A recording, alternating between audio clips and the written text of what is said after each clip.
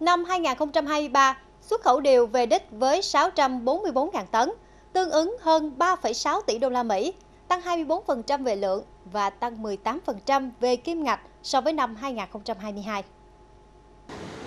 Năm 2023, xuất khẩu điều sang một số thị trường lớn như Hoa Kỳ, Trung Quốc, Hà Lan ghi nhận tăng trưởng khả quan. Cụ thể, xuất khẩu hạt điều sang Hoa Kỳ đạt 885 triệu đô la Mỹ, tăng 5% so với năm 2022.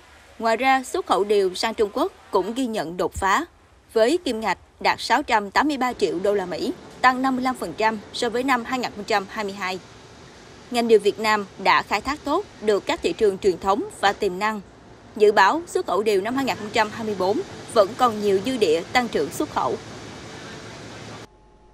Thưa quý vị và bà con, nông nghiệp ứng dụng công nghệ cao là xu thế tất yếu để tạo ra giá trị gia tăng trên một đơn vị diện tích đất canh tác, vừa khắc phục được yếu tố bất lợi của thời tiết. Nhìn thấy những lợi ích này, nhiều nông dân tỉnh Ninh Thuận đã mạnh dạn đầu tư hình thành mô hình sản xuất nông nghiệp công nghệ cao, đem lại hiệu quả kinh tế, tạo ra các sản phẩm sạch đáp ứng yêu cầu của thị trường. Ghi nhận của phóng viên thời sự. Nằm giữa vùng đất cằn của huyện miền núi Ninh Sơn, tỉnh Ninh Thuận, ít loại cây trồng thích nghi ở đây, nhưng trong khu nhà lưới này, vườn cây của anh Vàng đang phát triển tốt. Đây là vụ thu hoạch thứ ba sau một năm anh chuyển hướng từ làm nông dựa vào tự nhiên sang canh tác công nghệ cao trong hệ thống nhà lưới. Trồng cây trên giá thể, mọi công đoạn từ tưới nước, bón phân, anh chỉ cần điều khiển trên điện thoại. Làm ở trong nhà màng này thì tất cả các cái dịch bệnh, phân và nước mình cũng đều điều tiết được hết ở trên tất cả các hệ thống thông minh thì nó giảm lại cái chi phí phải nói là thật sự là để tiết kiệm rất nhiều cho người nông dân. Diện tích canh tác nông nghiệp công nghệ cao tại Ninh Thuận tăng nhanh 2 năm trở lại đây. Nếu như ban đầu chỉ các doanh nghiệp đầu tư vào lĩnh vực này, thì nay không ít nông dân mạnh dạn chuyển đổi. Người dân đã quen với hệ thống nhà kính, nhà lưới, ứng dụng công nghệ cao vào tưới tiết kiệm hay kiểm soát độ ẩm cho cây trồng. Huyện Ninh Sơn hiện đứng đầu Ninh Thuận về số hộ dân đầu tư nông nghiệp công nghệ cao.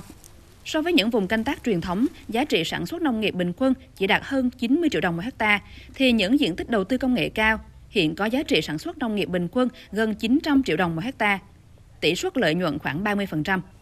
Điều quan trọng là công nghệ đã giúp khắc phục những bất lợi của thời tiết trên vùng đất nắng gió. Kết quả này càng khuyến khích nhiều hộ dân mạnh dạn chuyển đổi. Trên đất thì nó càng ngày càng thu hẹp, thì người ta sẽ dùng lại cái mô hình, cái công nghệ cao này. Thì để cái lợi nhuận thì giữa hai mặt, thì bên cái phần ờ, công nghệ cao này nó vẫn lợi hơn. Cái thứ nhất là tiền lợi cho công ừ. rồi cái phần thứ hai nữa là làm ít nhưng mà lãi suất cao. Thì về phía ngành nông nghiệp của huyện thì cũng đã phối hợp với ngân hàng nông nghiệp để cùng góp, đóng góp cái nguồn vốn, hỗ trợ người dân vay tiếp cận nguồn vốn, tín dụng để phát triển nông nghiệp ứng dụng công nghệ cao. Chuyển đổi công nghệ cũng đang góp phần khuyến khích nông dân mạnh dạn chuyển đổi cây trồng, lựa chọn những loại cây trồng có giá trị kinh tế cao, tương xứng với nguồn vốn đầu tư cho công nghệ. Toàn tỉnh Ninh Thuận hiện có gần 600 ha sản xuất nông nghiệp công nghệ cao. Mục tiêu đến năm 2025 sẽ nâng diện tích lên 1.000 hecta.